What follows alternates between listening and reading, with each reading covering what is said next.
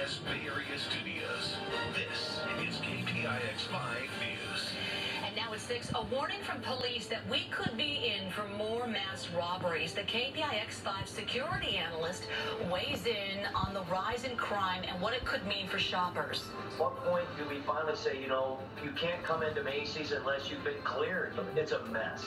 So uh, there has to be some recourse for someone who breaks the law. From thefts to gun battles and sideshows, what's going on in Oakland? The police chief is set to address the mayhem that unfolded over a course of several hours. It's a material worth more than gold and just takes minutes for a criminal to saw off your car. We take a closer look at a problem getting worse by the month, and it is costing drivers thousands. And good evening, I'm Juliette Goodrich. Brian has the night off.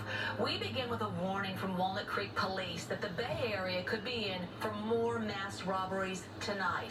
Now, this afternoon, police tweeted out they have intelligence that the group of thieves who ransacked the Broadway Plaza Nordstrom are considering similar activity later today.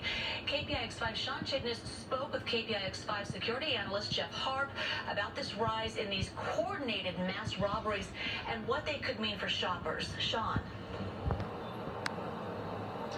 Well, Julia, tonight we have seen that response begin by police. We saw officers here throughout the day. And also at this location, we know this is happening at other Bay Area shopping centers as well, a way to create a barrier and block people from quickly driving off. But our security analyst says that this is just the beginning, and unless consequences actually increase, these crimes will only continue.